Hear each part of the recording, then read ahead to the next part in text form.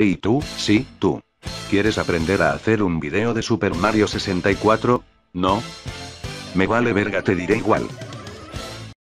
Muy bien, para hacer nuestro propio blooper necesitamos un PC, un editor de video, en este caso usaré el Sony Vegas 15, el Project 64 con la ROM del Super Mario 64 obviamente, Mario Movie Maker, un programa para grabar la pantalla como OBS o Bandicam. Pero antes de esto necesitamos una idea, hay que pensar en una. Listo ya la tengo. Primero tendremos que abrir el Mario 64 junto al Mario Movie Maker. Pueden usar la ROM normal, pero yo les recomiendo usar estas pantallas verdes si quieren agregar otro personaje. Pero recuerden que si ponen un personaje que tenga el color verde como Luigi, usen una pantalla morada o de un color que no tenga su personaje. Más tarde hablaré sobre los personajes personalizados. Ahora abriremos el Mario Movie Maker y veremos que podemos congelar la pantalla, modificar el estilo de cámara y reemplazar animaciones. Después abriremos el Mario 64, yo usaré la ROM con la pantalla verde. Al abrirlo le saldrá este menú, para moverse tienen que usar la cruceta esa que nadie usa XD. La habitación número 8 es la pantalla verde. Esta ROM no tiene la interfaz, pero también se puede quitar en una ROM normal con un código. Voy a buscar un ángulo de cámara que me guste. Primero que todo necesitamos fijar la cámara, les recomiendo que usen un Movin 3 y luego apretar el botón aplicar. Pero como vemos hay un problema, la cámara todavía nos sigue, para arreglar eso pulsaremos en congelar ligero. Ahora podremos movernos libremente sin necesidad de preocuparnos de la cámara. Aquí pueden hacer lo que quieran XD. Para cambiar las animaciones nos vamos a la parte de abajo, yo cambiaré la animación de agacharse por la pose de victoria, hay que hacer lo mismo que ya hice con la cámara. Obviamente recuerden grabar esto. Antes de empezar, les diré la forma fácil de hacer un blooper, el resultado lo están viendo ahora. Solo tienen que hacer lo anterior usando un personaje y un texto.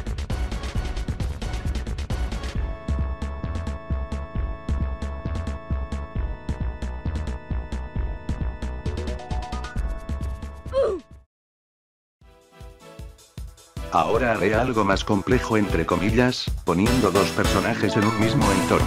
Yo uso el Sony Vegas, pero supongo que cualquier otro editor tiene las opciones que utilizaré.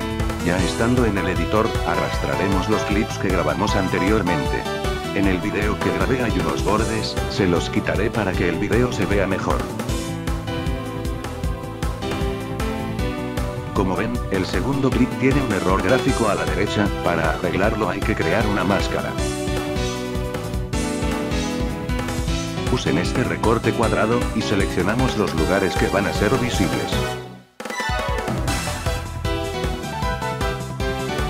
Ahora voy a remover el fondo con la clave cromática. Para que nuestro croma quede mejor, seleccionamos el color que tenga el fondo. Tienen que adaptarlo para que no se vean bordes. Para saber que su croma está bien hecho, tiene que estar completamente blanco, para ver esto tienen que ir a opción de mostrar máscara solamente. Ya que el croma está listo, veamos qué tal se ve.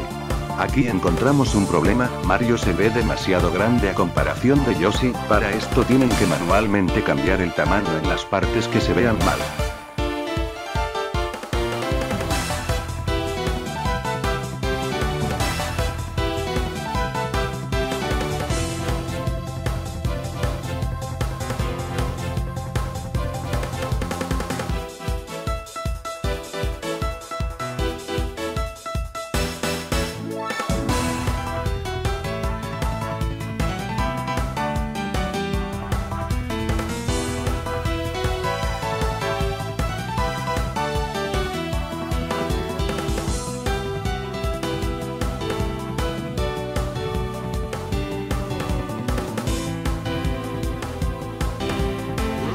Aburrido, minutos más tarde.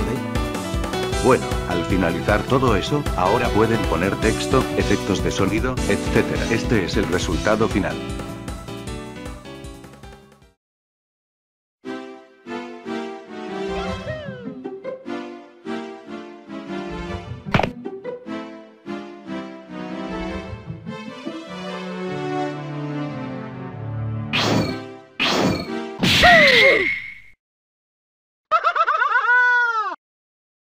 Entonces eso significa que ya puedo hacer mi propio blooper. No, todavía queda algo. La co... Si recuerdan, hace unos minutos mencioné algo sobre personajes personalizados, estos son los personajes que son agregados con mods, como Luigi, Yoshi, Wario, y Sonic, sí, Sonic. Son bastante útiles para que los videos no se sientan tan vacíos. Para poder usarlos, hay que parchear una ROM que tenga una pantalla verde con nuestro personaje.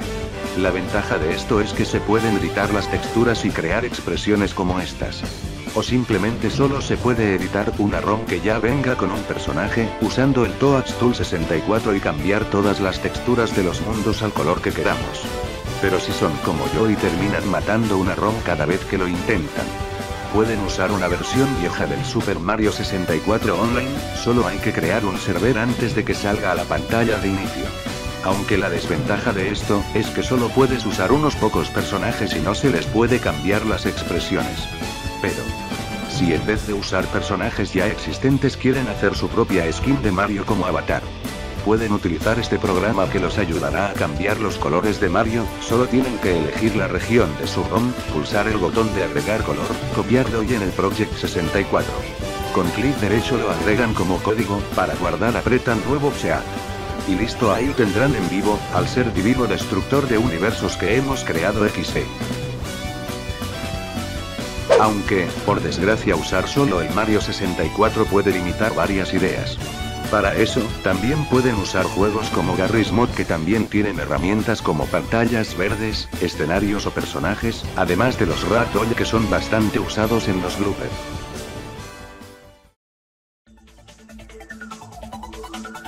Ahora les mostraré cómo mover a los personajes de esta forma XD.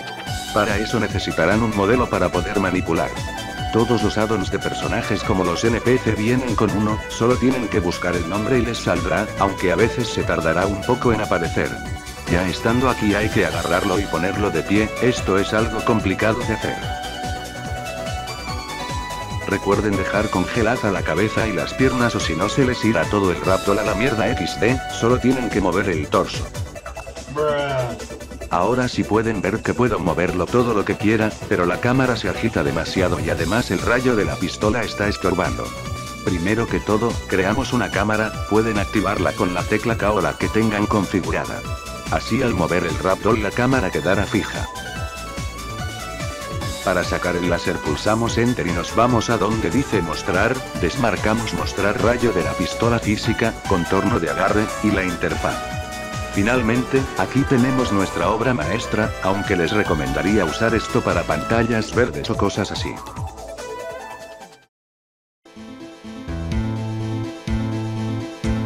Y bueno, esto es todo lo que necesitan saber para hacer un blooper de Mario 64. Así que hasta aquí llega el video, si tienen una pregunta o alguna sugerencia para un futuro video, lo pueden dejar en los comentarios.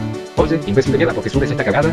Si es que alguien se lo preguntaba, pues, quiero temporalmente hacer algo no relacionado con creepypastas. Además que los otros tutoriales de Mario 64 eran antiguos y quise hacer una versión más actualizada, y he estado considerando hacer bloopers.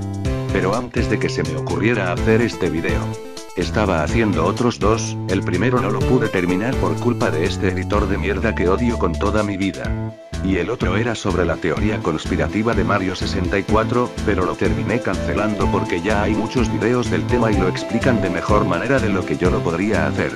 Así que sí. Por eso estuve inactivo por tres meses. Qué asco de vida.